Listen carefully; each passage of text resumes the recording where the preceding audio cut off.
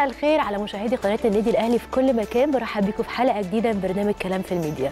طبعا لا صوت يعلو دلوقتي على صوت مباراة القمة في النادي الأهلي. مباراة القمة رقم 117 والمقرر ليها بإذن الله يوم السبت اللي جاي على ملعب برج العرب في اسكندرية. فريقنا النهارده وصل تدريباته استعدادا للقاء وطبعا عارفين إن التدريبات مقفولة بدون أي حضور للإعلاميين أو أي حضور أصلا أو أي حد ممكن يعرف إيه اللي بيحصل في التدريب في الأيام دي عشان يكون في طبعا مزيد من التركيز. بكرة بإذن الله الفريق هيدخل في معسكر مغلق في برج العرب وهيختتم تدريباته هناك كمان وأكيد كلنا ثقة إن شاء الله في لعيبة النادي الأهلي وفي الجهاز الفني انهم إن شاء الله يحققوا الفوز في القمة 117 ونتصدر الدوري المصري الممتاز. هنتابع معاكم النهارده كل الأخبار اللي اتقالت واتكتبت عن النادي الأهلي سواء في الصحف أو في المواقع الإلكترونية وكمان آه على صفحات ال social media. وكمان عندنا جولة كبيرة جدا في الأخبار المحلية والعالمية. هنتكلم كمان عن مباراة مصر ونيجيريا الودية امبارح وهيكون ضيفنا وضيفكم دكتور إبراهيم داوود نائب رئيس تحرير الكورة والملاعب. وكالعادة بنبتدي معاكم حلقتنا بأهم العناوين.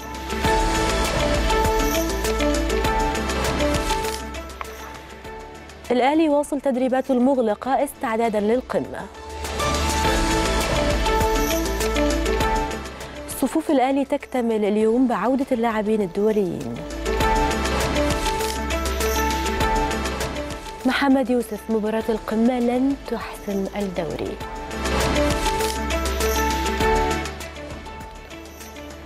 عبد الحفيظ يحذر من خرق الحظر الإعلامي ويؤكد جاهزية سلية. المنتخب يعود من نيجيريا وأجاري يطلب ودية باستاد القاهرة. محمد صلاح سادس أفضل مهاجم في العالم. والنني يقترب من الدوري التركي.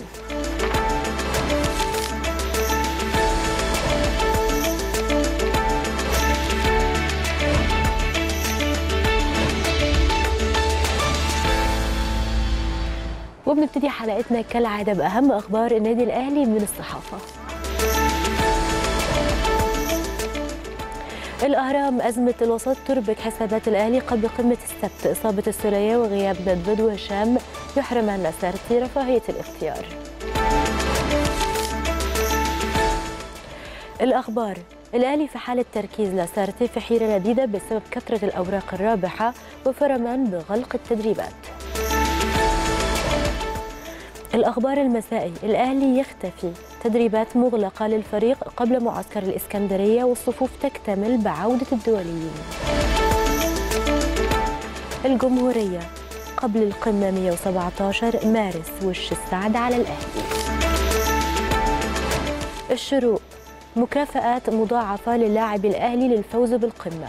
لاسارتي طلب مشاهدة آخر خمس مباريات للزمالك وجلسات تحفيزية من الثلاثي الكبير لباقي اللاعبين وتغييرات بسيطة في تشكيل لقاء السبت. الجمهورية لانشغالهم بمباريات في الدوري المحلي كبار حكام أوروبا خارج الخدمة الأوزباكي إرماتوف الأقرب. الجمهورية آخر كلام 30 فرد في موقعة المصير.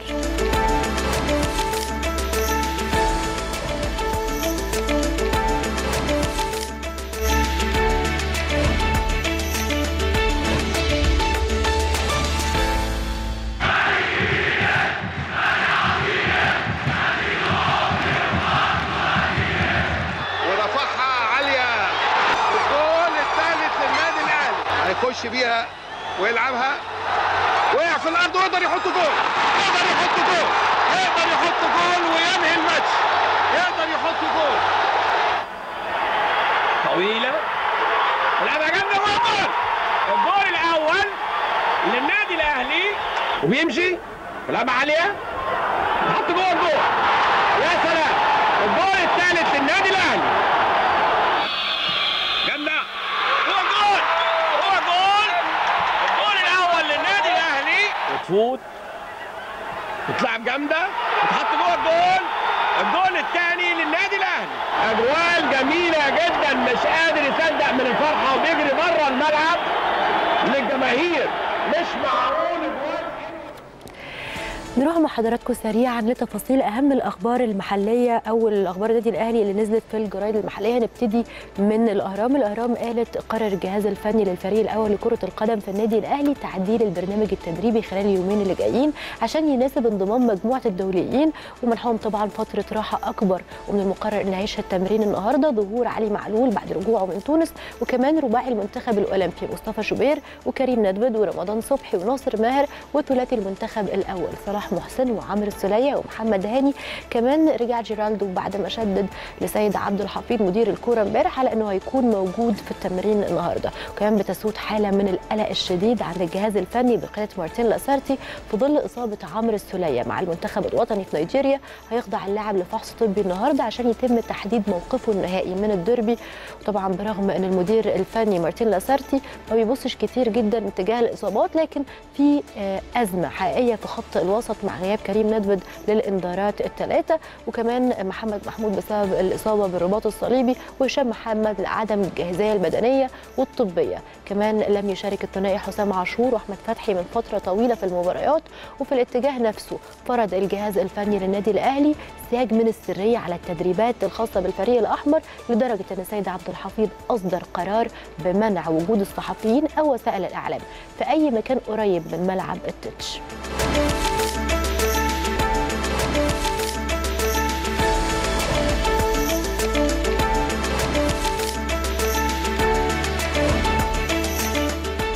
كمان جريدة الجمهورية قالت إن بيعتبر شهر مارس بمثابة وش السعد للنادي الأهلي اللي حقق خلاله خمس انتصارات، كمان حقق نادي الزمالك الفوز في ثلاث مباريات بس وفرض التعادل نفسه على خمس لقاءات، بيعتبر هو ده لقاء القمة الثاني اللي بيجرى بين المنافسين في شهر آه، مارس وبالتحديد يوم 30 مارس بعد ما سبق وقابلوا بعض قبل كده زي اليوم ده بالظبط لكن سنة 1973 انتهى اللقاء ده بفوز النادي الأهلي بهدف نظيف. سجله مدافع النادي الأهلي سابق مصطفى يونس وهو ده طبعا اللي بيعزز من حالة التفاؤل عند آه، النادي الأهلي في المعسكر ده قبل مواجهة طبعا يوم السبت المنتظرة. أحرز النادي الأهلي 12 هدف في مباريات القمة واللي جرت في شهر مارس بالتحديد. في حين نجح نادي الزمالك إن هو يهز شباك النادي الأهلي خلال تسع مناسبات فقط. ومن بينها هدف جه عبر النيران الصديقه وده كان عن طريق السوداني إبراهيم الكبير لاعب النادي الأهلي السابق واللي سجل هدف بالخطأ في مرمى فريقه كان ده آه، في موسم 65 66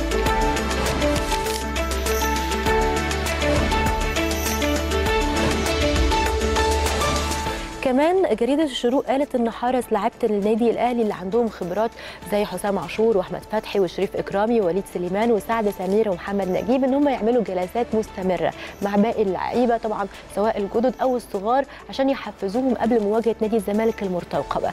ده جه طبعا من منطلق خوض اللعيبة الكبار أكتر من مواجهة قبل كده قصاد نادي الزمالك هم خلاص اعتادوا على الأجواء دي في حين إن في برضو بعض اللعيبة ما شاركوش قبل كده في مباريات زي مباريات القمة بشكل كبير وبالتالي ما عاشوش الأجواء أو الضغوطات اللي بتصاحب مباريات زي دي. حرص اللعيبة الكبار إن هم يعملوا جلسات مع اللعيبة الجداد والشباب عشان يشرحوا لهم طبيعة مباريات القمة وإنها تحتاج هدوء أعصاب وتركيز جوه الملعب وعدم التأثر بالأجواء الخارجية.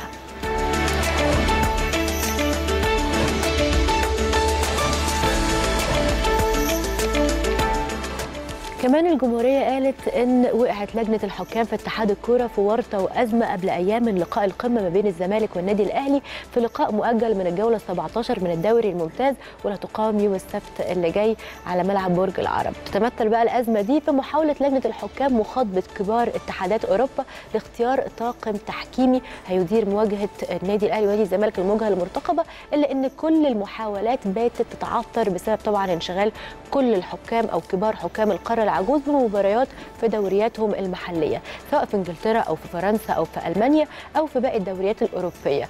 تسعى دلوقتي لجنة الحكام هي تخرج من الأزمة دي وفي أسرع وقت ممكن خصوصا طبعا مع بداية العد التنازلي للمواجهة الحاسمة والمصيرية.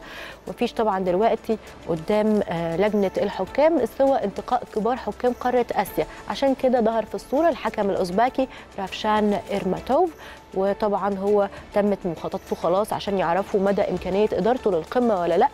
وتنتظر دلوقتي لجنة الحكام حسم ارماتوف مصيره سواء بالموافقة على تولي المباراة تحكيميا من عدمه وده خلال الساعات القادمة. بيعتبر طبعا ارماتوف من كبار حكام العالم.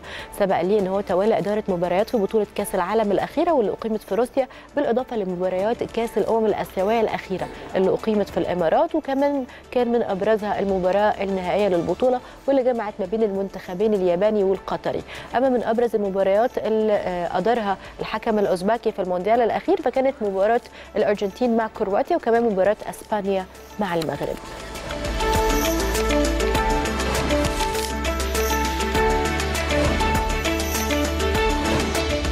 كمان الجمهورية قالت إن رفض الأمن زيادة الأعداد المسموح بحضورها لمباراة القمة واللي هتجمع ما بين النادي الأهلي ونادي الزمالك يوم السبت اللي جاي الساعة 7 مساء على استاد برج العرب في اسكندرية. وده اللقاء المؤجل من الدور الممتاز قال عامر حسين رئيس لجنة المسابقات في اتحاد الكورة إن الأمن لن يسمح بأكثر من 30 فرد في اللقاء الهام والحساس. وأكد كمان إن القرار ده صدر بدون حضور جماهيري وبالتالي لن يكون هناك اجتماع أمني لبحث إمكانية الزيادة. وقال كمان رئيس لجنة المسابقات بأن العدد المسموح به هو عدد نهائي وغير قابل للزيادة. هيحضر من كل نادي 15 آه، فرد. 15 من نادي الزمالك ومثلهم من نادي الأهلي وده كمان آه، بيتمثلوا في مجلس الإدارة والعاملين بالنادي دون السماح لغيرهم بالحضور. كما كمان إن العدد المسموح به من الحضور الإعلامي هيكون محدد طبقا لكشف مع الأمن بسبب حساسية اللقاء. كمان شدد عامر حسين إن أرضية استاد برج العرب هتظهر بصورة مبهرة في مباراة القمة بعد الجهد الشاق لعلاج الملعب. وكمان تقرر إن يكون في اثنين مراقبين للأمن ومراقبين كمان آه، من آه، جانب لجنة المسابقات بجانب مراقب الحكام وده طبعا عشان يرصد أي مخالفات تحدث خلال المباراة.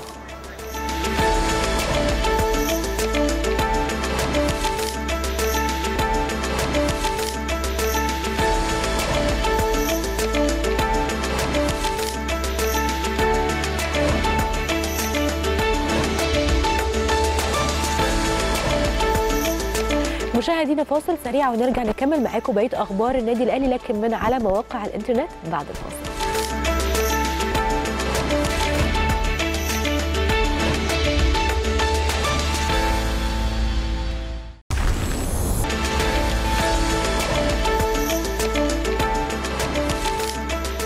رجعنا سريعا ولسه مكملين معاكم فقراتنا في كلام في الميديا وبنوصل معاكم دلوقتي لأهم أخبار النادي الأهلي برضو لكن من على مواقع الإنترنت.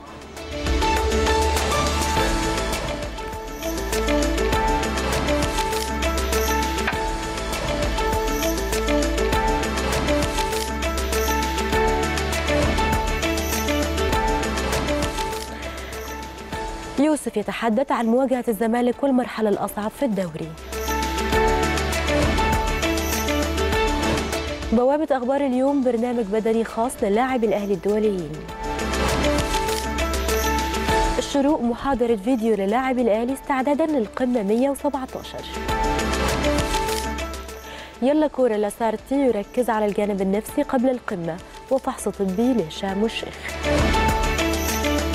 اليوم السابع مفاجأة. أحمد فتحي داخل حسابات الأهلي أمام الزمالك. في الجول الأهلي في الجول السولية جاهز للقمة. وهذا موعد تحديد موقف هشام محمد. البوابة عبد الحفيظ يحذر لاعب الأهلي من خرق الحظر الإعلامي قبل القمة. الموقع الرسمي للنادي الأهلي رؤوف عبد القادر ثقتنا كبيرة في رجال السلة. الموقع الرسمي للنادي الأهلي السلعاوي يغيب لنهاية الموسم.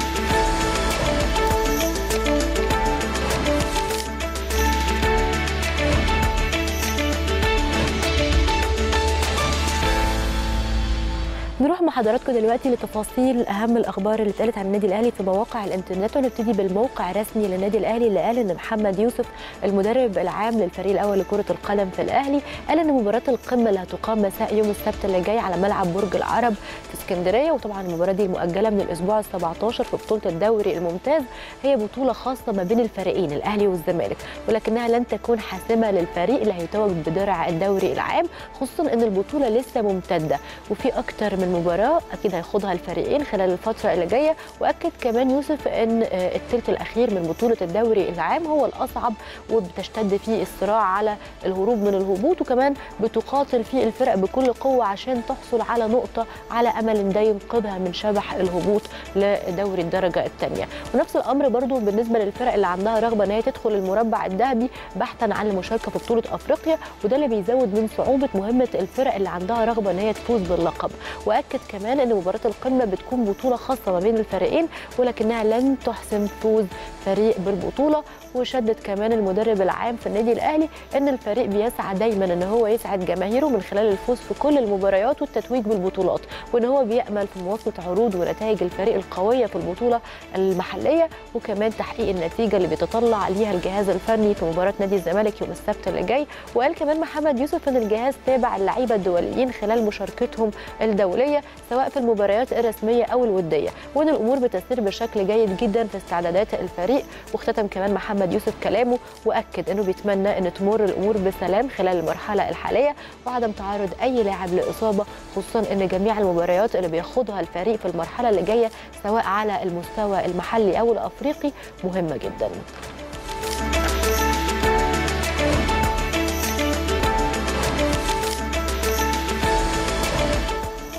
كمان بوابة أخبار اليوم قالت إن بيجهز أليخاندرو مخطط الأحمال في الفريق الأول لكرة القدم في النادي الأهلي برنامج بدني للعيبة الدوليين عشان ينفذوه بعد رجوعهم للمشاركة في تمرين الفريق. وانتهاء طبعا ارتباطاتهم الدولية مع المنتخبات الوطنية.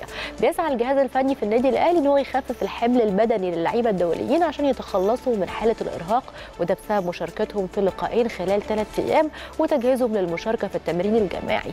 غاب كمان عن تمرين النادي الأهلي خلال الفترة الماضية عمرو السولية وصلاح محسن ومحمد هاني. ده بسبب انضمامهم للمنتخب الأول. كمان انضم للمنتخب الأولمبي رمضان صبحي وكريم ندفد وناصر ماهر ومصطفى شوبير.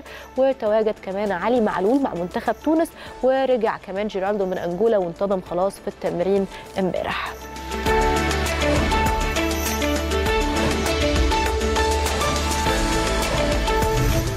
موقع الشروق كمان قال إن بيعقد الجهاز الفني للفريق الأول لكرة القدم في الأهلي محاضرة جديدة بالفيديو مع اللعيبة قبل انطلاق تمرين الفريق عشان يشوفوا ملخص لمباريات نادي الزمالك قبل المباراة اللي هتجمع الفريقين مساء يوم السبت اللي جاي على استاد برج العرب في اسكندرية. المباراة دي طبعا مؤجلة من الأسبوع ال 17 في بطولة الدوري المصري الممتاز. الجهاز الفني هيشرح بعض النقط الفنية خلال محاضرات الفيديو ويركز على بعض الأمور الخاصة بطريقة اللعب وكتب طبعا الجهاز الفني من محاضراته النظرية والفنية مع اللعيبة عشان يجهزهم للمباراة. وكان الجهاز الفني بقيادة الأوروجواني مارتين لاسارتي ركز على الجانب الخططي خلال تمرين الفريق اللي أقيم مساء يوم الاثنين أو مساء يوم الثلاث اللي هو امبارح على استاد مختار التتش ده طبعا في إطار استعدادات الفريق لمباراة نادي الزمالك القادمة.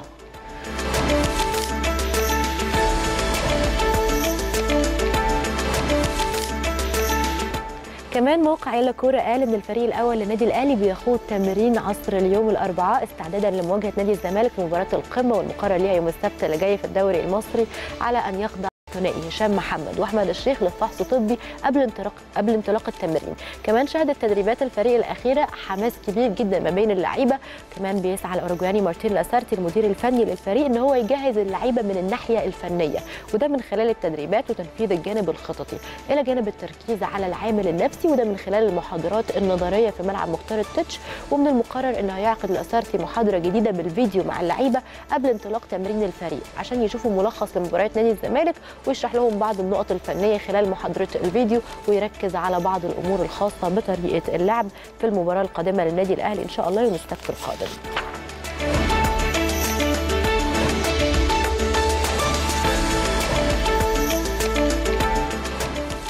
كمان اليوم السابع قالت ان بيجهز الجهاز الفني للنادي الأهلي بقياده الأوروجواني مارتين لاسارتي أحمد فتحي لاعب الفريق عشان يشارك في الوسط بجوار حسام عاشور في مواجهة نادي الزمالك برغم مشاركته في جميع التدريبات السابقة في مركزه الأصلي وهو الظهير الأيمن. شايف لاسارتي إن أحمد فتحي هو الخيار الأمثل إن هو يلعب في الوسط في حالة غياب عمرو السولية نظرا لامتلاكه خبرة كبيرة جدا وتمرسه في اللعب في المركز ده في أوقات سابقة.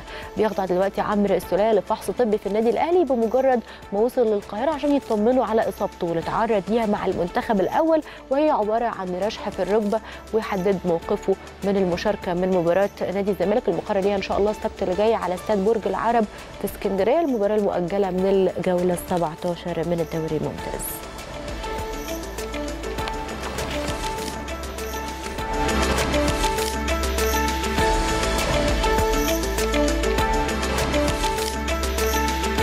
كمان موقع في الجول قال إن كشف سيد عبد الحفيظ مدير الكرة في النادي الأهلي عن جاهزيه عمرو السولية لاعب خط وسط الفريق للمشاركة في لقاء القمة اللي جاي قصاد نادي الزمالك. اتكلم عبد الحفيظ وقال انه هو تواصل مع عمرو السولية وتابع التقارير الطبية اللي جت من منتخب مصر وقال كمان إن إحنا مطمئن عفوا نحن مطمئنون على حالة السولية وعلى جاهزيته لخوض المباراة فهو يستطيع المشاركة. كمان هاني رمزي المدرب العام لمنتخب مصر قال في وقت سابق إن السولية يقدر إن هو يرجع للتدريب بداية من يوم الخميس اللي جاي ويكون لائق للمشاركة في القمه تعرض السوليه للإصابة برشحة في الركبة وده كان خلال لقاء مصر والنيجر وده اللي بعده طبعا عن المشاركة في مواجهة نيجيريا الودية.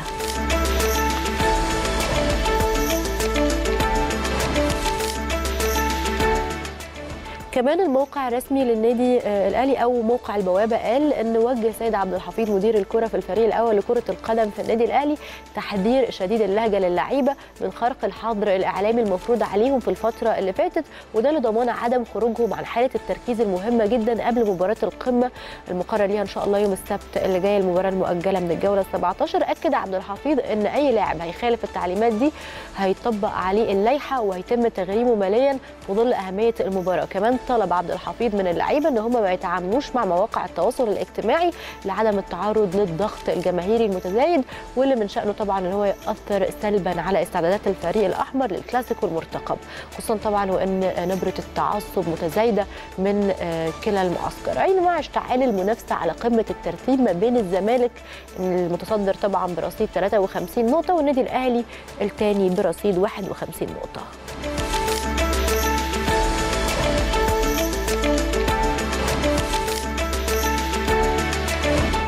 كمان الموقع الرسمي للأهلي قال إن رؤوف عبد القادر مدير عام النشاط في النادي الأهلي حرص على حضور جانب من تدريبات الفريق الأول لكرة السلة استعدادا لمواجهة سموحه يوم الخميس في مرحلة ال play off في دوري السوبر للمحترفين عشان يساند الجهاز الفني واللعيبة قبل المباراة المهمة. عقد عبد القادر جلسة مع اللعيبة أكد خلالها إن الفريق بيملك المقومات اللازمة عشان يظهر بشكل قوي ويحقق نتيجة إيجابية قبل لقاء العودة يوم الأحد اللي جاي. وأكد كمان مدير عام النشاط الرياضي على الثقة الكبيرة في الجهاز الفني وفي اللعيبة ودعمهم عشان يحققوا الفوز ومواصلة المشوار نحو لقب البطولة وقال كمان إن الجميع بيساند الفريق من أجل تحقيق اللقب.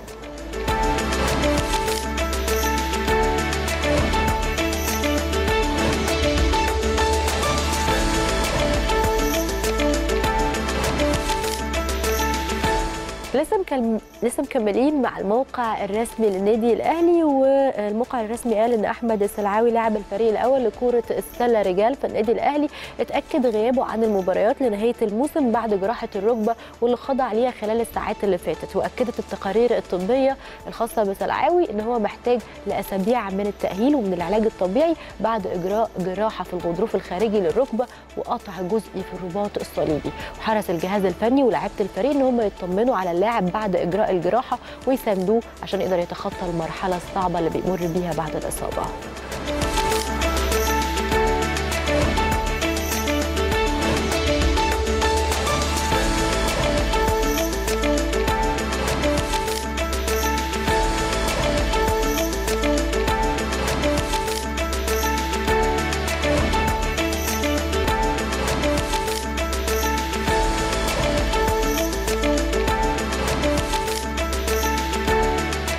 مشاهدينا فاصل سريع ونرجع نكمل معاكم بقية فقراتنا في كلام في الميديا. خليكم معانا.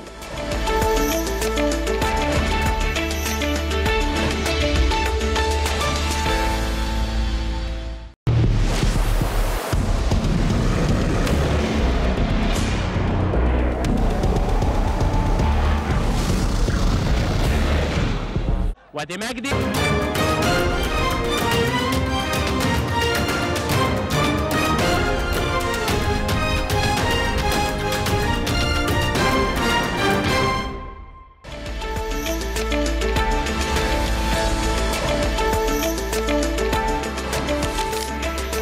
سريعا لسه مكملين معاكم فقراتنا في كلام في الميديا وبنوصل معاكم دلوقتي لأهم الأخبار المحلية والعالمية وكمان آخر أخبار محترفين في الخارج.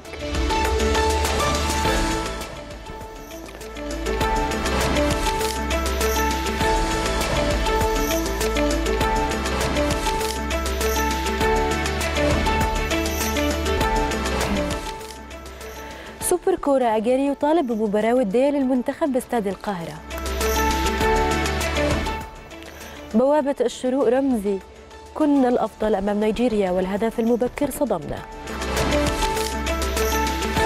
بوابة الفجر تفاصيل سحب قرعة كأس الأمم الأفريقية 2019 دوت مصر منتخب مصر الأولمبي البعثة تعود اليوم بعد مباراة الاشتباكات. جول جهاد جريشة يقود مباراة شباب قسنطينة والترجي التونسي. البوابة سبورت محمد صلاح سادس أفضل مهاجم في العالم في التصنيف المجلة البريطانية. بوابة الأهرام كلوب صلاح يلعب دائما والراحة التي حصل عليها هامة للغاية. بوابة فيتو النني على رأس قائمة الراحلين عن الأرسنال. مبتدأ بشكتاش التركي يتمسك بضم النني. الجمهورية أونلاين مدحت وردة عمرو ما زال يملك الكثير ليقدمه للمنتخب. في الجول رسميا قبول استئناف حسن السيد وتحويل الملف إلى لجنة الانضباط والأخلاق.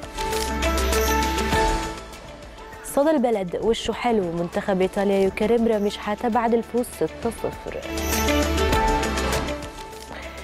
كرة برشلونة يلجأ لحيلة برازيلية لضم راشفورد. يلا كورة. ألفارو موراتا كرة القدم تغيرت والفوز على الفرق الدفاعية ليس سهلا. بطولات الصحفي كتالوني دي ليخت رفض شرط برشلونة الوحيد لضمه في الصيف. يورو سبورت عربية اليوفنتوس ومانشستر يونايتد يتنافسان على طريق برشلونة. آس عربي تقارير مورينيو قريب من الدوري الفرنسي. سبورت 360 انتر ميلان يجدد اهتمامه بالتعاقد مع مالكوم. 1 3 كريستيانو رونالدو يحسم موقفه من مباراة آياكس.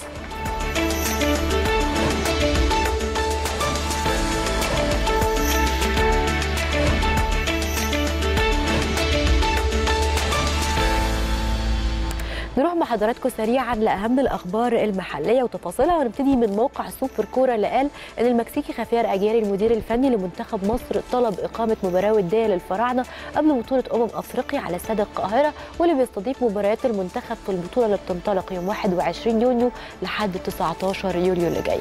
قرر اجاري انطلاق معسكر المنتخب الأخير قبل البطولة يوم 6 يونيو اللي جاي خصوصا طبعا بعد قرار لجنة المسابقات بإقامة آخر مباراة في الدوري قبل التوقف بثلاث أيام نفس الشهر. هيقام المعسكر الأخير في اسكندرية وتحديدا في برج العرب. بيخوض المنتخب مباراة ودية أو اتنين قبل خلال المعسكر قبل البطولة. قبل طبعا ما يرجعوا تاني للقاهرة قبل انطلاق البطولة بخمس أيام لاستكمال المعسكر في القاهرة. وخوض ودية أخيرة في استاد القاهرة قبل البطولة.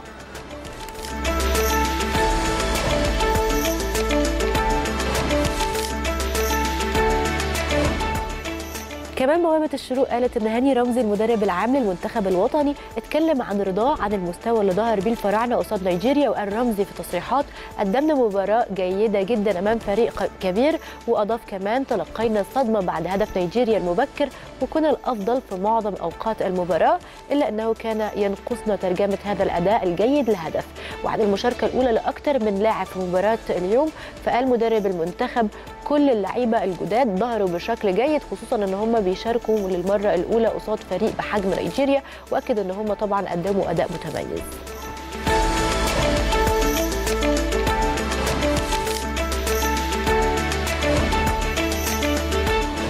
كمان بوابة الفجر قالت إن بتقام يوم 12 من شهر إبريل المقبل. قرعة بطولة كأس أمم أفريقيا لكرة القدم ولا تقام في مصر خلال صيف العام الجاري 2019 الاتحاد الأفريقي عمل تصنيف للمنتخبات على النحو التالي. المستوى الأول مصر البلد المضيف تونس غانا السنغال الكاميرون وكوت ديفوار. والمستوى الثاني المغرب نيجيريا الكونغو الديمقراطية الجزائر وغينيا ومالي. المستوى الثالث أوغندا جنوب أفريقيا غينيا بيساو وزيمبابوي وموريتانيا وأنغولا. والمستوى الرابع بنين وبوروندي وتنزانيا وناميبيا وكينيا ومدغشقر. والمفروض إنه يتم سحب القرعة وهيقابل كل منتخب نظيره من المستوى الأدنى مع تجنب عدم مواجهه منتخبين في نفس التصنيف. بيقع المنتخب المصري طبعا في التصنيف الأول نظرا ان هو مستضيف البطولة والقرعة أكيد هتوقعه للبروتوكول المتعارف عليه على رأس المجموعة الأولى وبيجاور المنتخب المصري في التصنيف الأول. الكاميرون صاحب التتويج الأخير بلقب أمم أفريقيا 2017 بالإضافة لتونس وغانا والسنغال والكوت ديفوار. كمان جه المنتخب العربي الموريتاني في التصنيف الثالث إلى جوار منتخبات أوغندا وجنوب أفريقيا بالإضافة لزيمبابوي وغينيا بيساو والمنتخب الانجولي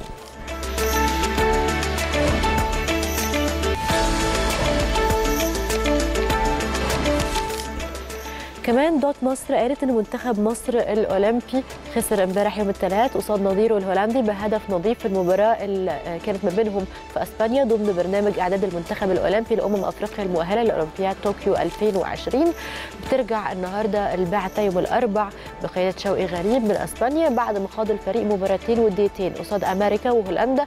فاز على أمريكا بثنائية نظيفة وخسر من هولندا بهدف نظيف ووقعت اشتباكات بالأيدي ما بين لعيبة الفريقين في الدقيقة 70 وده بسبب تدخل عنيف من محمود الجزار على لاعب هولندا وده اسفر عن طرد الجزار وكمان لاعبين على مقاعد البدلاء والطواحين لاندفاعهم لأرض الملعب.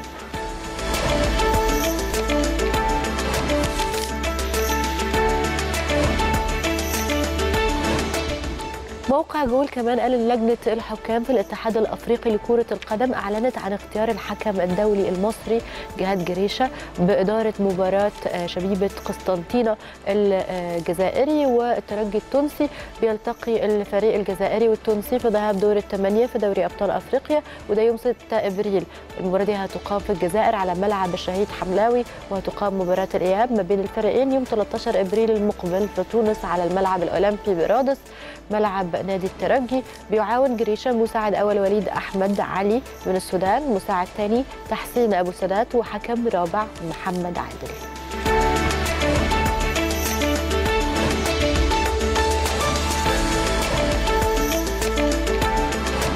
كمان البوابة سبورت قالت إن صلاح لاعب المنتخب الوطني والمحترف في صفوف ليفربول الإنجليزي حصل على المرتبة السادسة في قائمة أفضل 10 مهاجمين على مستوى العالم وفقا لتصنيف مجلة 442 البريطانية. أشار تقرير المجلة إن محمد صلاح بيتميز بالسرعة وبالفعالية الهجومية الكبيرة في الثلث الأخير من الملعب. وتم تشبيهه بالنجم الهولندي الهولندي أرين روبن في عصره الذهبي احتل الأرجنتيني ليونيل ميسي كمان نجم برشلونة المرتبة الأولى وجه بعديه كيليان مبابي مهاجم باريس سان جيرمان وبعد كده أنطوان جريزمان لاعب أتلتيكو مدريد وكمان قالت المجلة ان التصنيف تم وفقا للمهاجمين اللي بيلعبوا في مركز الجناح أو دور المهاجم الثاني وده اللي خلاها طبعا تخلو من قائمه القائمه دي تخلو من العديد من اللعيبة الكبار زي كريستيانو رونالدو ولويس سواريز وهاري كين واللي طبعا بيلعبوا في مركز المهاجم الصريح.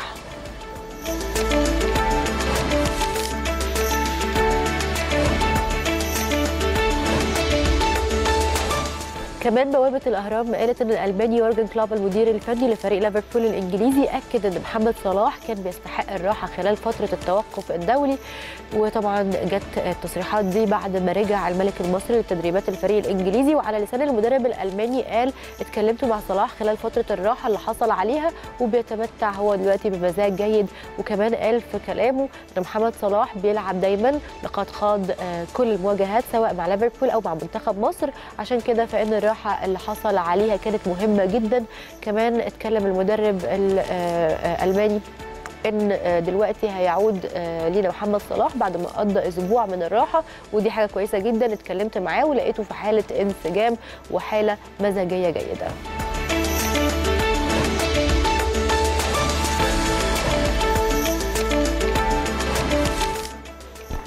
كمان بوابة فيتو قالت إن صحيفة ميرور البريطانية اتكلمت عن أوناي أمري المدير الفني لفريق أرسنال الإنجليزي اللي قرر إن هو يتخلص من ست لعيبة في الموسم اللي جاي. وعلى رأسهم محمد النني لاعب وسط منتخبنا الوطني قالت كمان الصحيفة إن إدارة المدفعجيه بتسعى للتخلص من اللاعبين من أجل توفير الأموال للصفقات الجديدة والتخلص من الرواتب المرتفعة اللي بيحصلوا عليها. بتضم قائمة الراحلين عن أرسنال مسعود أوزيل هنريك مختريان داني ويلبك محمد آه، تشامبرز ومصطفي وإضافة طبعا إلى اعتزال بيتر تشيك ورحيل آرون آه، رمزي لليوفنتوس.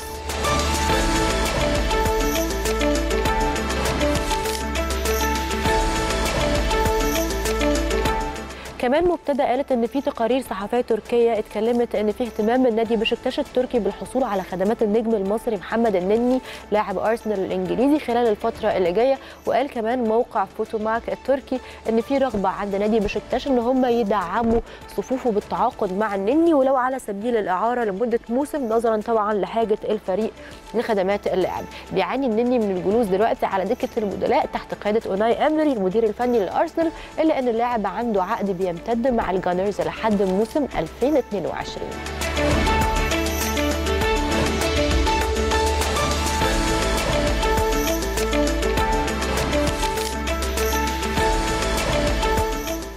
كمان الجمهورية أونلاين قالت إن مدحت وردة نجم كرة السلة السابق أبدى سعادته بعد اختياره ضمن فعاليات قاعة المشاهير لعام 2019 من الاتحاد الدولي لكرة السلة وقال مدحت في تصريحاته سعيد باختياري وكان هناك اهتمام كبير من الاتحاد الأفريقي والمصري من مجدي أبو فريخة ومحمد عبد المت...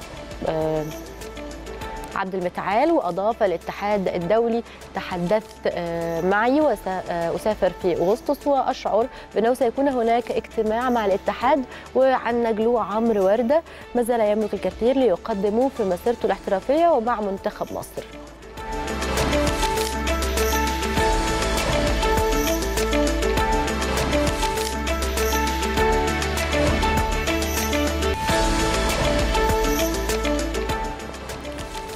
كمان موقع في الجول قال إن لجنة الاستئناف لمسابقة دوري كأس الأمير محمد بن سلمان للمحترفين وافقت على قبول الاستئناف المقدم ضد قرار إيقاف حسين السيد وتحويل الأمر للجنة الانضباط والأخلاق. وكانت لجنة العقوبات أصدرت قرار بإيقاف حسين السيد أربع مباريات رسمية بما فيهم الإيقاف التلقائي. نتيجة الطرد ويأتي ذلك بالإضافة لالزامه بدفع غرامة مالية قدرها 40 ألف ريال. لحساب الاتحاد السعودي تقدم نادي الاتفاق السعودي باستئناف ضد القرار الصادر من لجنة العقوبات. حسين السيد تعرض للطرد في مواجهة الاتفاق والنصر بسبب اعتراضه بصورة غير لائقة ضد حكم المباراة.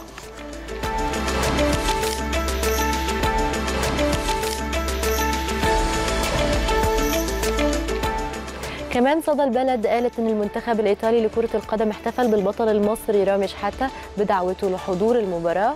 هو آه، ووالدته وفد من المنتدى المصري في إيطاليا. فاز المنتخب الإيطالي مساء أمس بست أهداف مقابل لا شيء على ليشتنشتاين ضمن الجولة الثانية من المجموعة العاشرة تصفيات المؤهلة لبطولة يورو 2020 ومن المقرر ان هيقابل الطفل المصري اللاعب العالمي الأرجنتيني باولو ديبالا واللي هيحضر مخصوص عشان يقابله يوم 27 إبريل. قال ياسر المنسل الأمين العام للمنتدى المصري في إيطاليا إن رامي هيسافر لروما. النهارده عشان يقابل وزير الداخلية عشان يديله الجنسية ويكرمه بعد ما أنقذ 51 طفل من مذبحة كانت طبعا ممكن تتسبب في موتهم خلال استقلالهم لحافلة في إيطاليا.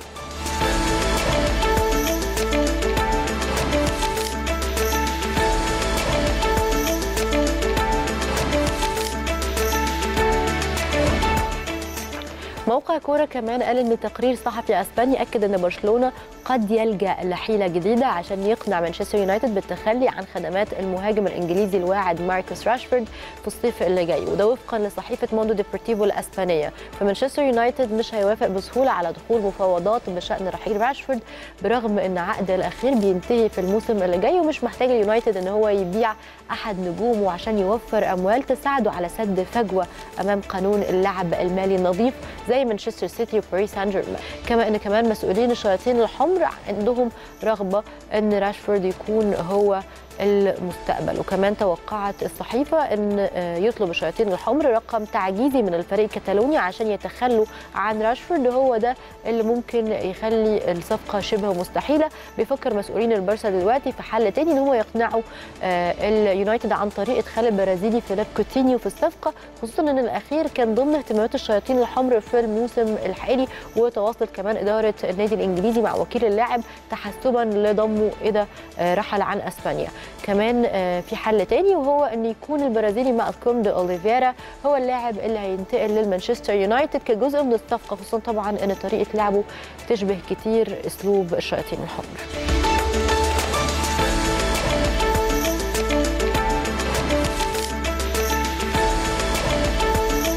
كمان يلا كورة. قال إن ألفارو موراتا مهاجم المنتخب الأسباني الأول لكرة القدم اعترف بالصعوبه اللي واجهها فريقه للفوز 2-0 على مالطا امبارح يوم الثلاث في المباراة اللي جمعت ما بين الفريقين ضمن منافسات التصفيات المؤهلة لبطولة كأس أمم أوروبا 2020 وقال موراتا أشكر المدرب كثيرا هو يعرف هذا أنا سعيد بتواجدي هنا كما هي العادة دائما؟ والآن من المهم أن نتأهل في أقرب وقت ممكن لكاس أمم أوروبا.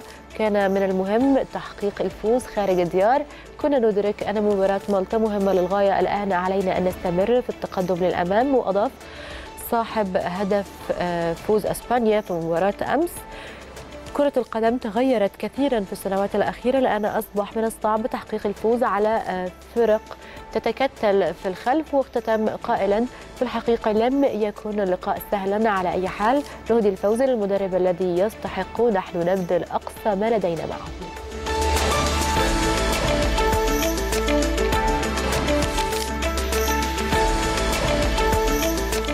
كمان بطولات قالت ان ماتيس ديليخت مدافع نادي آياكس أمستردام الهولندي رفض الشرط الوحيد اللي حطه برشلونة عشان يضمه في الميركاتو الصيفي اللي جاي. وكشف توني خوانتامي الصحفي في صحيفة سبورت الكتالونية إن في تفكير من قبل إدارة البلوجرانا في التعاقد مع اللاعب الهولندي الشاب مع اعارته في الموسم اللي جاي لأحد الأندية الأوروبية. وجت فكرة الإعارة في برشلونة لصعوبة التفريط في أحد المدافعين الحاليين للفريق سواء كان لينجليت أو سامويل أومتيتي واللي طبعا بيتناوبوا على مركز المدافع اللي بجانب جيري تشكيل الفريق بقيادة طبعا فالفيردي. عشان كده تواصل المسؤولين بالإدارة الكتالونيه مع اللاعب وحاولوا إقناعه بالإعارة لمدة موسم واحد سواء بالبقاء مع آياكس أو الانتقال لأي نادي أوروبي جديد لحد نهاية موسم 2019 2020 لكن ديليفير هو الظهير الأيسر الأسباني أليخاندرو غريمالدو لاعب بنفيكا الحالي واللاعب السابق لبرشلونة الأسباني واللي تخلى عنه بمبلغ زهيد قبل ثلاث مواسم بلغ مليون ونص يورو. والآن بات مطلب لكبار الفرق الأوروبية فحسبما تناقلت عدة تقارير الصحفية فإن غيرمالدو واللي بيقدم مردود مميز جدا مع نسور بنفيكا ده خلاه يكون متواجد على رادار عدة فرق زي طبعا يوفنتوس مانشستر يونايتد والأرسنال ومانشستر سيتي وأتلتيكو مدريد ونابولي وبيرغب اليوفي في التعاقد مع غيرمالدو بسبب تعقد خطته لجلب البرازيلي مارسيلو لاعب ريال مدريد. بعد عودة الفرنسي زين الدين زيدان لتدريب الفريق الملكي. وده اللي خلى اللاعب يعدل عن فكرة الرحيل اللي طبعا كانت بتراوده بقوة بعد أو أثناء تولي الأرجنتيني سولاري مهمة تدريب الفريق.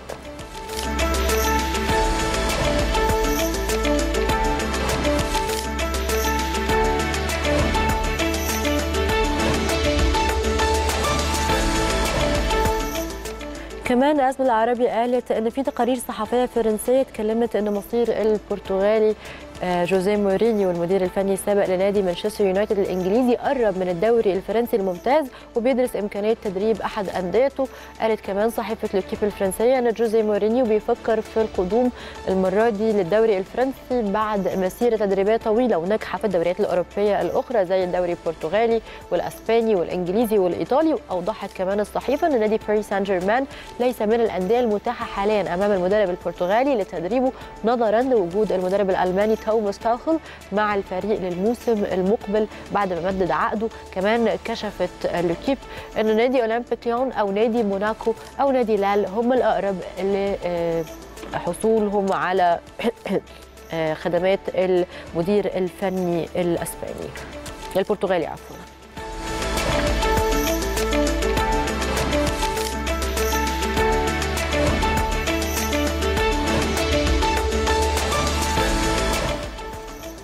كمان سبورت 360 آه، قالت إن نادي إنتر ميلان الإيطالي جدد اهتمامه بالتعاقد مع البرازيلي مالكوم لاعب برشلونة خلال سوق الانتقالات الصيفية اللي جاية.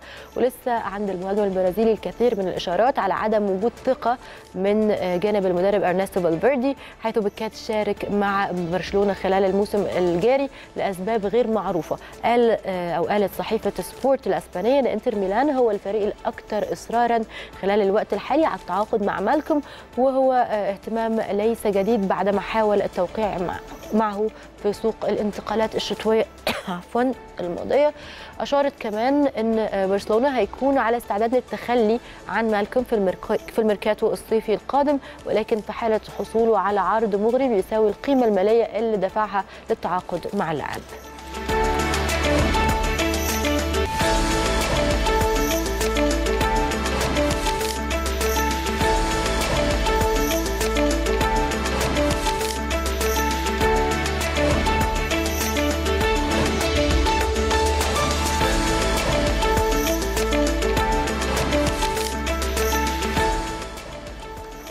كمان وانتري قالت إن في تقارير إيطالية كشفت إن نادي يوفنتوس الإيطالي بينتظر عودة نجم الفريق ومنتخب البرتغال الهداف الدولي كريستيانو رونالدو واللي تعرض للإصابة. وقال موقع كالتشو ميركاتو إن يوفنتوس مستني رجوع كريستيانو رونالدو لإيطاليا من المتوقع ان هينضم نجم يوفنتوس النهارده لتورينو عشان يعمل اختبارات طبية جديدة.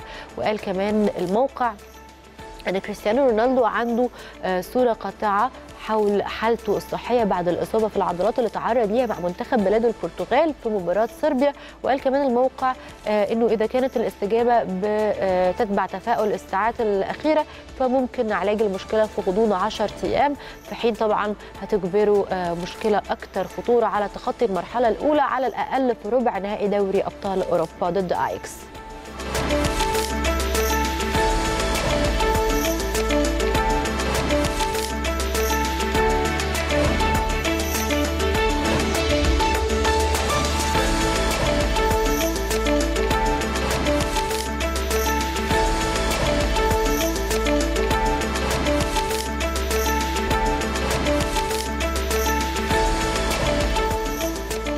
مشاهدينا معادنا دلوقتي مع فاصل سريع ونرجع نستقبل ضيفنا النهارده. دكتور إبراهيم داوود نائب رئيس تحرير الكورة والملاعب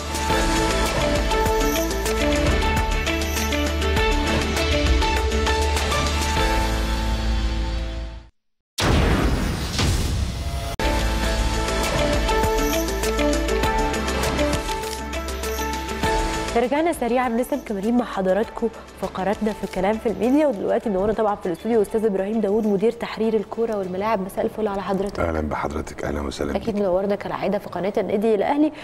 وعايزين طبعا في الأول نتكلم عن المباراة القادمة مباراة القمة 117 نادي الأهلي والزمالك.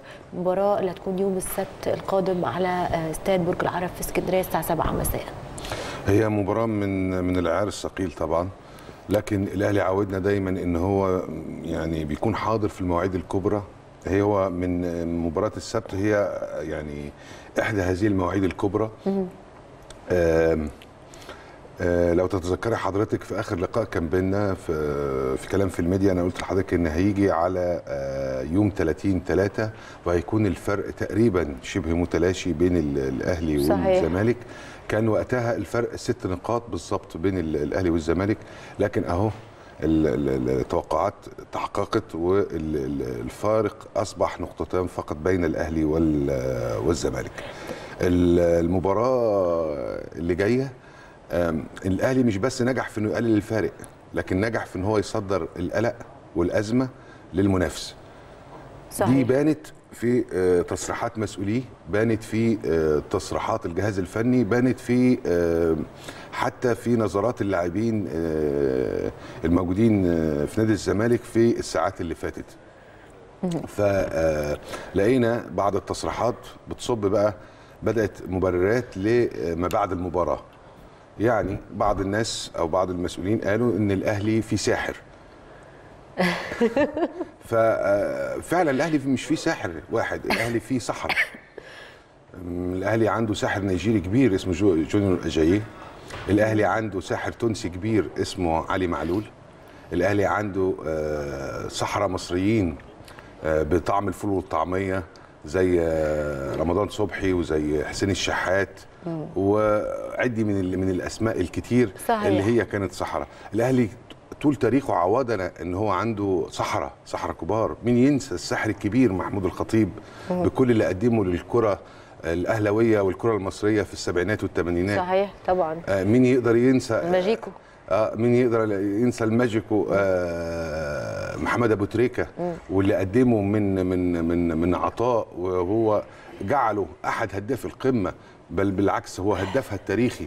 صحيح. الأول برصيد سبع أهداف صحيح طيب خلينا نرجع لفترة الاستعداد لمباراة القمة اللي كانت في النادي الأهلي والمباراة طبعا الودية اللي اتعملت مع آم، شبين ودية شبين شفت الاستعدادات إزاي لمباراة القمة؟ وكمان أكيد لو ملاحظ الفترة دي في تدريبات مغلقة تماما مفيش أي حضور إعلامي مفيش أي حضور لأي صحفيين محدش عارف أصلا يعرف آه، إيه اللي بيحصل جوه آه، التدريب في الفترة دي. في حظر إعلامي على كل آه، اللعيبة حتى حظر على مواقع التواصل الاجتماعي الخاصة بيهم.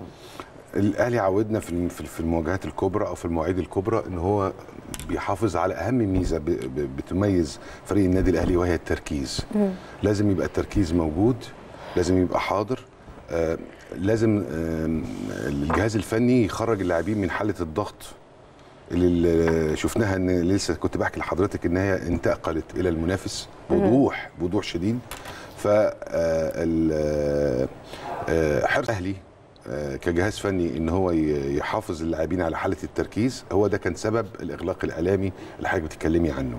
صحيح. آه، ال- الأهلي كمان آه، داخل المباراة باعتبارها إنها مهمة ولكن هي مش نهاية العالم. هي في النهاية مباراة بثلاث نقاط وده اللي عودنا دايما إن هو يخرج من من تصريحات من مسؤولي الأهلي سواء في مجال الإدارة أو في مجال الجهاز الفني. آه، شفنا التصريحات دي آه، متكررة كتير في عهد آه، العظيم مانويل جوزيه. كان دايما قبل مباريات ال- القمة بين الأهلي والزمالك بيحافظ على التركيز الشديد بيغرق اعلاميا على لاعيبته لكن في نفس الوقت كان بي بيأكد لكل اللاعبين اللي موجودين عنده من أكبر لاعب لأصغر لاعب إن المباراة دي بتحمل أهمية ولكن هي في النهاية بثلاث نقاط. صحيح. ده اللي شفناه. صحيح. على مدار التاريخ شفنا يعني آه، مدربين كتير قوي مروا على النادي الأهلي في منهم المدرب اللي ليه كاريزما اللي ساب بصمة كبيرة. طبعا يمكن أهمهم مانويل جوزيه. يعني هم أو, أو هم بالنسبة كسر هم هم كسر بس مش كسر قوي اللي سابوا ال- ال- البصمة أو كان عندهم أو كانت حاضرة بوضوح فكرة الكاريزما عندهم. مين يقدر ينسى العظيم هيديكوتي ممكن مين يقدر ينسى ديتريش فايسا آه، مين يقدر ينسى مانويل جوزيه؟ طبعا. بكل صحيح. ألقابه وبطولاته وإنجازاته اللي حققها مع النادي الأهلي. تفتكر لاسارتي ممكن يكون مدرب عنده شخصية شبيهة بمانويل جوزيه؟ واضح إن هو إن هو ماشي على خطى المدربين أصحاب الكاريزما أو المدربين اللي ممكن نتوقع إن هم يتركوا بصمة وبصمة كبيرة في تاريخ النادي الأهلي. آه، شفناه ده بوضوح في ثلاث حاجات مهمة. اولا علاقته باللاعبين علاقه مميزة جدا. آه، نجح في فترة بسيطة جدا إن هو ينقل الشعور العادل لكل اللاعبين سواء اللي بيلعبوا أو اللي ما بيلعبوش. ده بان في تصريحات آه، دايما الإعلام بيبقى معني قوي بتصريحات الناس اللي ما بيلعبوش أو على الدكة أو خارج التشكيل الأساسي. تعالي بصي على تصريحات صالح جمعة تعالي بصي على تصريحات أحمد الشيخ تعالي بصي على تصريحات آه، العادين من الاصابه زي أحمد فتحي. آه، بصي على على تصريحات الناس دي كلها. هتحسي بقد إيه حجم المدرب ده آه، ومدى تأثيره على الفريق. الجزئية الثانية هو السعي إن هو يطور الأداء. وده شفناه في مباريات كتيرة نجح آه، مارتن لاسارتي إن هو يتدخل ويطور الأداء. ال- آه، كمان الاستقرار الفني.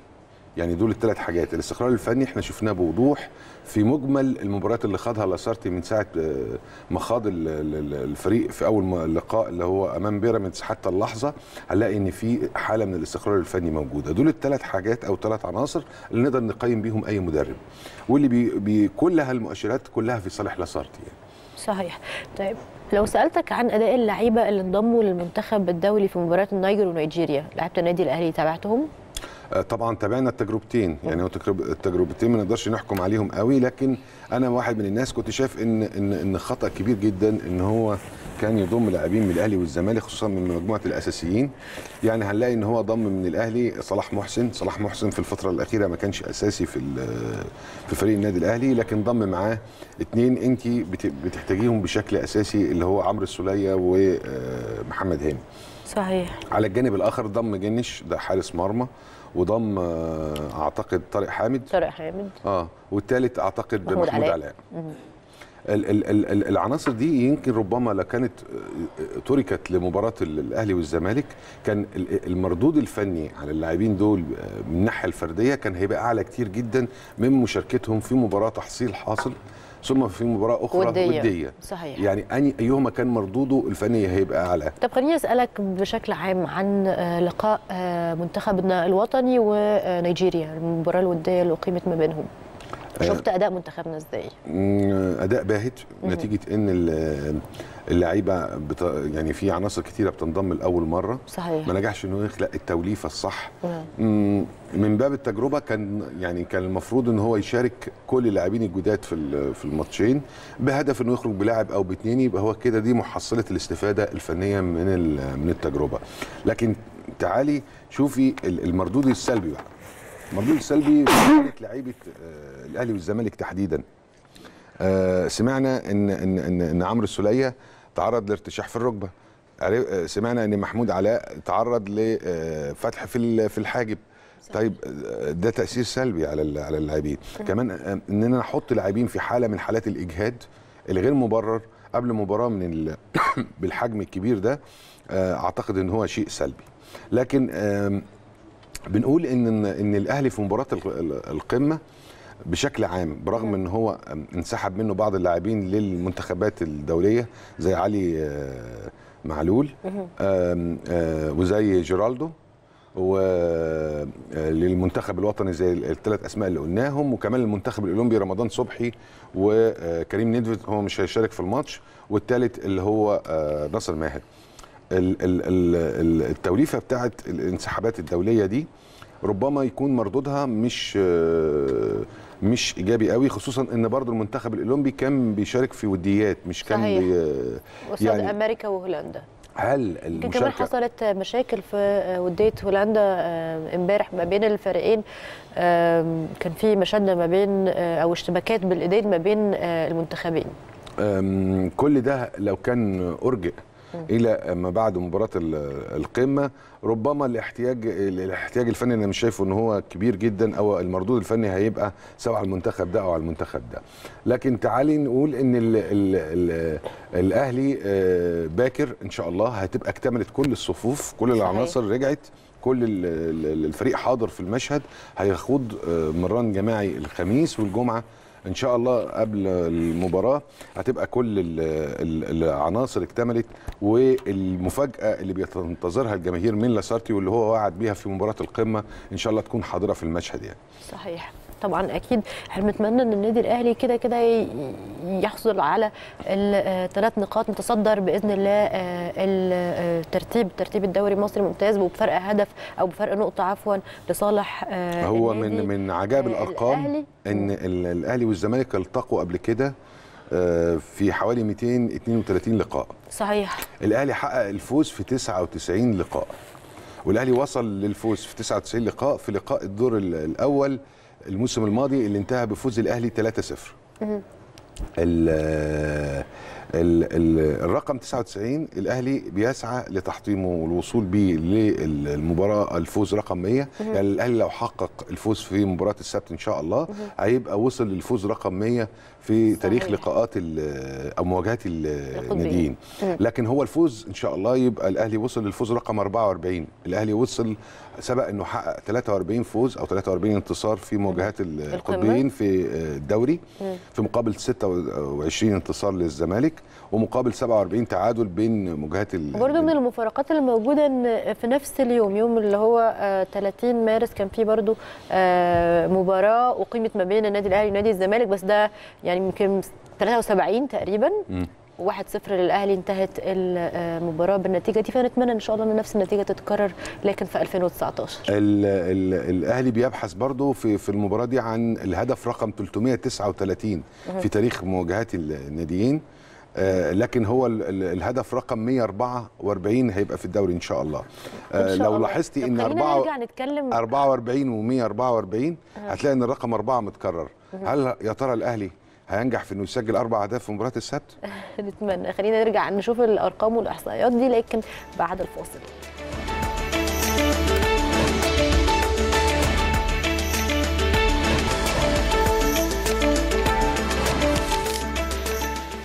لسه مكملين مع حضراتكم فقراتنا ولسه منورنا دكتور إبراهيم داوود آه، مدير تحرير الكورة والملاعب. منورنا طبعا مرة ثانية برحب. بيك تاني.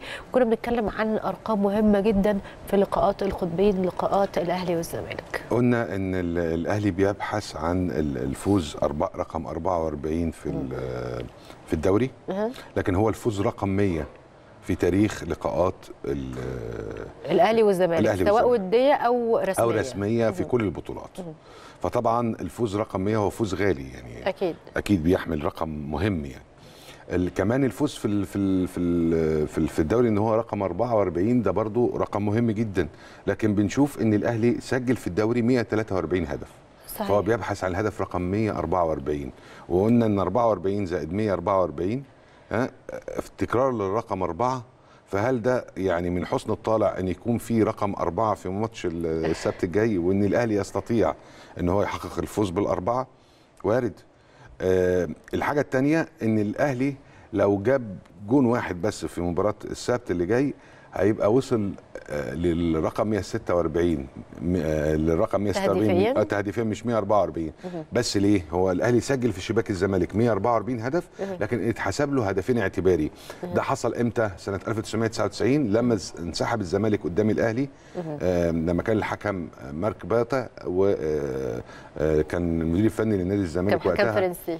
كان حكم فرنسي كان. المدير الفني آه، كابتن فاروق جعفر وقرر الانسحاب فاعتبر ال- الاتحاد الكره أن الزمالك آه، مهزوما 2-0 أها. فيبقى الأهلي سجل 143 هدف شرعي اثنين هدف اعتباري وإن شاء الله نشوف الهدف 100 آه، 144 أو 146 في تاريخ مواجهات الناديين. الأهلي سجل رقم مهم جدا و... وكبير في تاريخ مواجهات الناديين. سجل 338 هدف. فمجرد إحراز هدف في مباراة القمة هيكون الهدف رقم 339 طيب بنشوف في في, في مواجهات الناديين بنلاقي إن في 65 لاعب من الأهلي سجلوا في شباك الزمالك. 65 لاعب. 65 لاعب.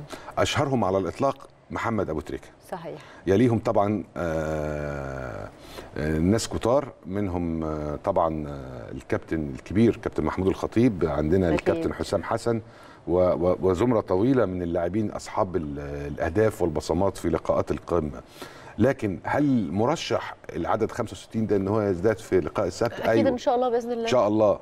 لأن ال ال إحنا بنبحث عن اللاعب رقم 66 في تاريخ مواجهات الناديين. تتوقع اللي ممكن- مين اللاعب اللي هيتألق اللي هيكون نسر المباراة في لقاء القمة 117 يوم السبت؟ إحنا عندنا عندنا آه كتير ممكن يتألقوا. عندنا ممكن يكون لاعب رقم 66 ده مروان محسن. عندنا ممكن يكون لاعب رقم 66 رمضان صبحي. صحيح. عندنا ممكن يكون اللاعب رقم 66 حسين الشحات. عندنا طبعا. جيرالدو. جيرالدو ممكن. آه، ي- ومش شرط إنه يكون هو الهداف أو ممكن مش شرط ان هو يكون صاحب الهدف ممكن يكون بيلعب في مركز آخر آه، في صفوف النادي الأهلي. ممكن يكون صانع الهدف. آه، المهم إن ال 11 لاعب وال- والثلاثة الاحتياطي ال 14 مرشحين إن هم يشاركوا في هذا اللقاء إن هم يكونوا مصدر البسمة لجموع الأهلاوية. آم، الإحساس بالمسؤولية مهم جدا. التركيز حاضر. ومش بي بي بعيد من عن المشهد خالص لكن الأهم إن إحنا إن الحالة اللي, اللي رقبت عليها لعيبة الأهلي إن هم مش شاعرين بالضغط هم شاعرين بالمسؤولية شاعرين بالجدية شاعرين بالتركيز لكن مش شاعرين بالضغط. الضغط ده تم تصديره بامتياز للمنافس سواء هو اللي صدره لنفسه أو آخرين صدروه ليه. صحيح. طيب خلينا آه، بعيدا بقى عن القمة 117 إن شاء الله بإذن الله النادي الأهلي آه، يكلل فيها بثلاث نقاط ويتصدر بعدها بإذن الله آه، ترتيب الدوري المصري الممتاز ويكون في فرق ما بينه وما بين وصيف الدوري وقتها. إن شاء الله يكون الفرق بينهم نقطة. نرجع بقى ونتكلم عامة عن ألعاب أخرى جوه النادي الأهلي. لسه طبعا فريق طايرة النادي الأهلي سيدات فازوا باللقب العاشر الأفريقي ليهم آه، على آه، مدار تاريخ آه، مشاركتهم. وكمان باللقب الثاني ليهم على التوالي. يمكن البطولة دي آه، اختتمت يوم الاثنين اللي فات أول آه، امبارح. مباراة كانت يعني آه، من من كانت رائعة. آه، روح فظيعة. الجماهير اللي كانوا موجودين جوه آه، الصالة المغطاة صالة عبد الله الفيصل كانوا بيهزوا. آه، الصالة كلها كان ليهم طبعا دور كبير جدا في الفوز الصالة دي تحولت إلى صالة تاريخية على فكرة صاله السمو الأمير عبد الله الفيصل رحمه الله إن هي بقت مصنع الألقاب. آه، مش بس للنادي الأهلي ولكن لمصر. صحيح.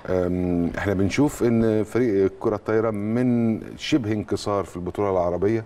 إزاي من رحم المعاناة دي بيطلعوا وبيغيروا وجهة النظر تماما وبيأكدوا إن هم عنده حسن الظن آه، سواء جماهير الأهلي أو حتى المهتمين بشأن كرة الطايرة في مصر.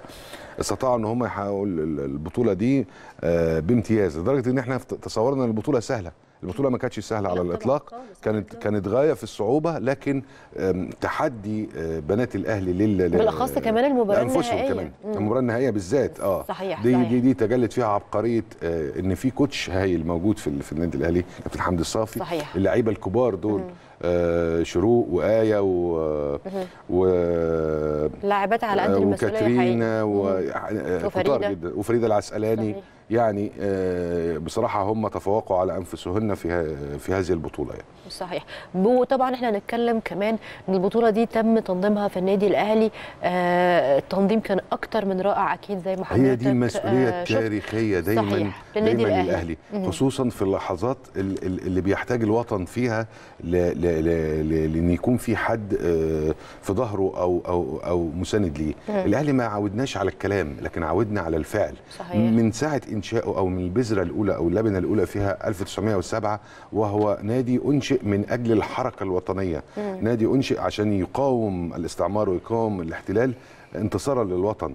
هو برضو شايف إن الوطن مصر بيحتضن آه، العمق من خلال رئاسة مصر لل- للاتحاد الأفريقي ورئاسة الرئيس عبد الفتاح السيسي لل- لل- للدورة الحالية. هو بيروح ينظم فعاليات في في في قلب القارة آه، بي- بيقول إن مصر هي اللي بتحتضن آه، عمقها الأفريقي كله مش بس استضافة استضافة بنجاح استضافة بإشادة من كل الوفود آه، امتياز. وهو ده الأهلي. هو ده. الأهلي. يمكن حضرتك كمان أنا حضرت حفلة آه، الافتتاح وحفل آه، الختام يعني كان التنظيم أكتر من رائع وعلى أعلى مستوى آه، حتى في فكر جديد في أفكار مختلفة.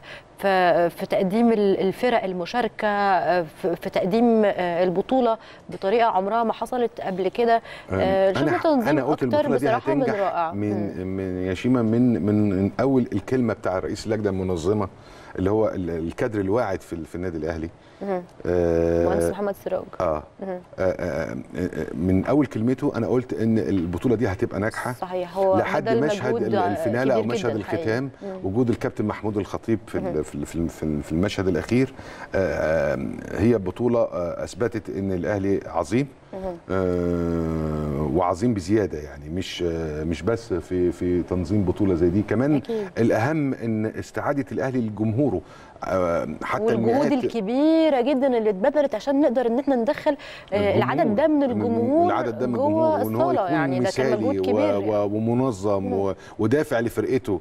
آه، بنشوف إن الأهلي كان خسران شوط ثم يحضر الجماهير بهذه الأعداد صحيح. يتغير المشهد كله و- وتؤول الأمور في النهاية لصالح ال- ال- المارد الأحمر يعني. صحيح. صحيح. أكيد بنشكر طبعا آه، كل طبعا تحية إعزاز وتقدير لكل اللي قاموا على على تنظيم هذه البطولة.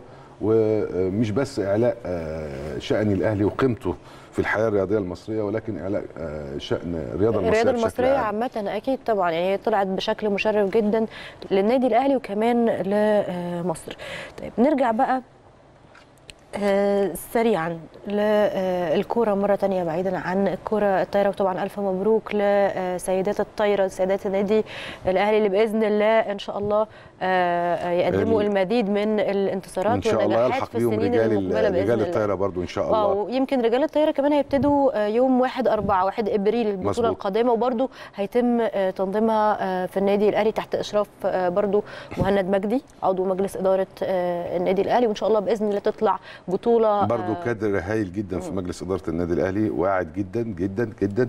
أنا بتوقع إن برضو إن شاء الله إن البطولة بطولة الرجال إنها تكون آه، يعني على نفس المستوى بل أكثر تميزا إن شاء الله بإذن الله. طيب آه، سريعا المنتخب الوطني الأول بقى. إحنا يمكن اتكلمنا سريعا عن لقاءات النيجر ونيجيريا. لقاء النيجر اللي إحنا قلنا إن هو كان تحصيل حاصل إنما آه، لقاء نيجيريا هو كان لقاء ودي انتهى بهزيمة آه، منتخبنا بهدف نظيف وده بيعتبر أول أو بتعتبر أول هزيمة لاجاري آه زي ما أنا قلت لحضرتك أنا ما أعتقدش إن إن إن المردود الفني اللي تحقق من اللقاءين مردود فني عالي الجودة إلا هم لو كان هو من من الأساس قرر إن هو يخوض المباراتين بزاوية أي عنصر من من العناصر الأساسية اللي موجودة معاه. لو كان هو عمل كده كنا هنقول إن هو نجح بامتياز في إن هو يطلع من التجربتين بعنصر أو اتنين أو ثلاثة من باب التجريب يعني. لكن هو عمل لنا خلطة كده الخلطة ما كانتش ناجحة طبعا لأن هي مش كلها من العناصر الأساسية. وما كانش عنده الوقت الكافي إن هو يدخل آه، عناصر آه، يعني يعمل ال- الهارموني أو الانسجام بين العناصر الجديدة والعناصر ال- الأساسية. فبالتالي طلع مسخ في في اللقاءين آه، بصراحة يعني ما يعني الناس في الشارع مش مبسوطة.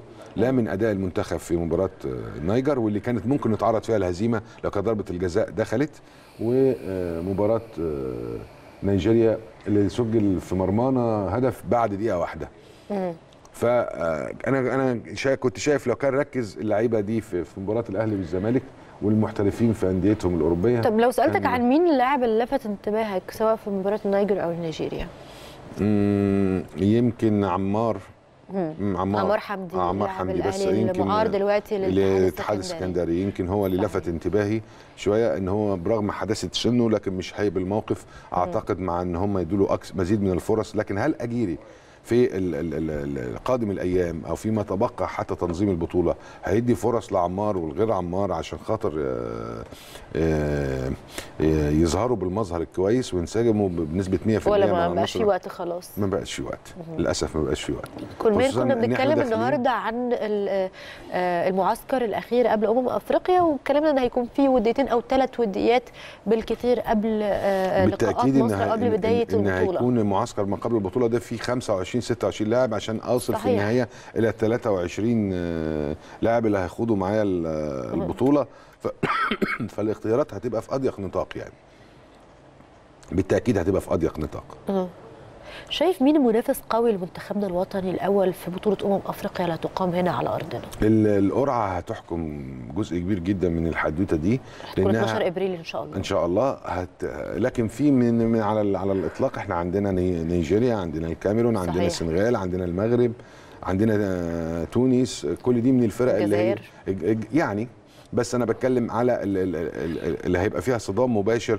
إذا القرعة جنبتنا أو لم تجنبنا وجعلتنا نواجههم اعتبارا مثلا من الأدوار المتقدمة زي دور الثمانيه مثلا. صحيح صحيح. طبعا آه، دكتور إبراهيم يعني حضرتك نورتنا أكيد كالعادة آه، في كلام في الميديا. بشكرك جدا على وجودك معانا وإن شاء الله بقى يعني الحلقة القادمة نقعد ونفتكر إن قبل قمة 117 كنا بنتكلم وكانت توقعات حضرتك إن هيكون في أربع أهداف. إن شاء الله بإذن الله ال- ال- النصر للأهلي والمجد للأهلي. أنا سعدت بيكي يا شيماء وبسعد باللقاء آه، دائما بيكي. كل الأمنيات الطيبة لل- للأهلي في لقاء السبت المقبل أن يحقق وأن يكلل الله مجهودات لاعبيه في في النهاية بالفوز يا بإذن رب الله إن شاء الله. مشاهدينا انتهت حلقتنا النهارده في كلام في الميديا. أشوفكم إن شاء الله يوم السبت اللي جاي. لا مش السبت بقى السبت إن شاء الله نفرح مع بعض بفوز النادي الأهلي بإذن الله وتصدر جدول ترتيب الدوري الممتاز. أشوفكم يوم الأحد اللي جاي في حلقه جديدة من كلام آه، في الميديا. أشكركم جدا على حسن المتابعة ويوم سعيد عليكم.